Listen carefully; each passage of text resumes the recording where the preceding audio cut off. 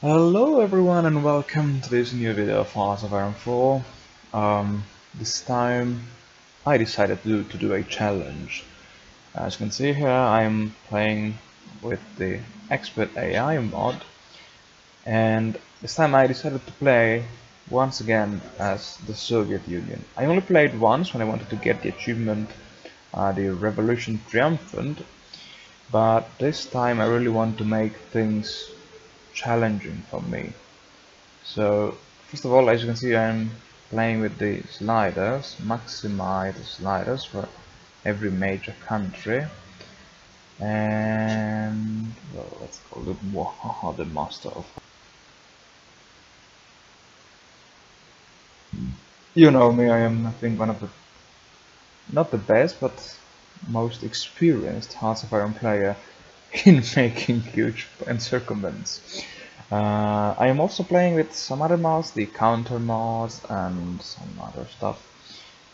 But most important, I am playing with a custom version of the Red Army made by me, which replaces the initial order of battle with these. These are the historically existed divisions of the Red Army, and oh crap Alright, uh, I have the NKVD. The NKVD are the only troops which have this veteran modifier.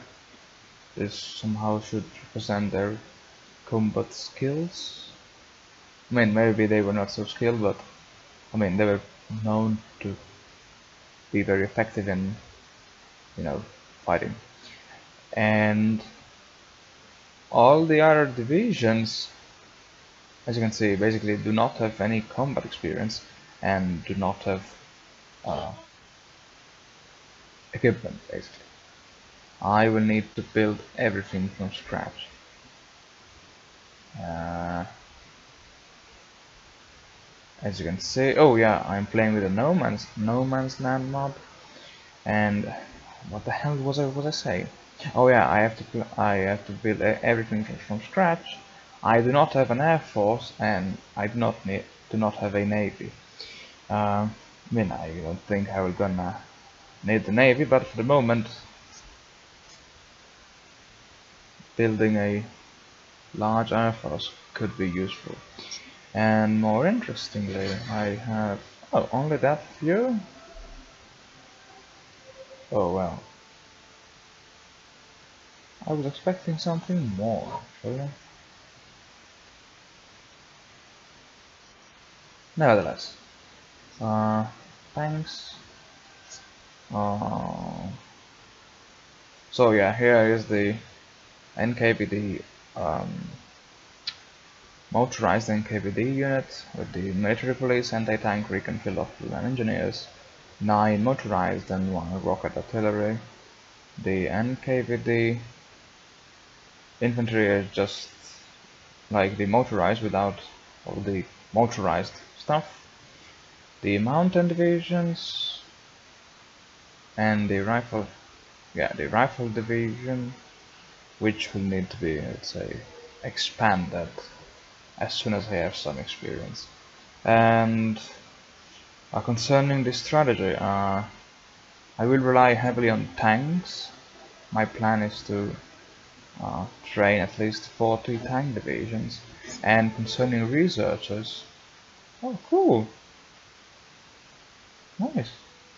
Um, I will go with the mobile warfare doctrine because I want to have as many tank divisions and I want them as fast as possible. I do not care about the mass assault doctrine.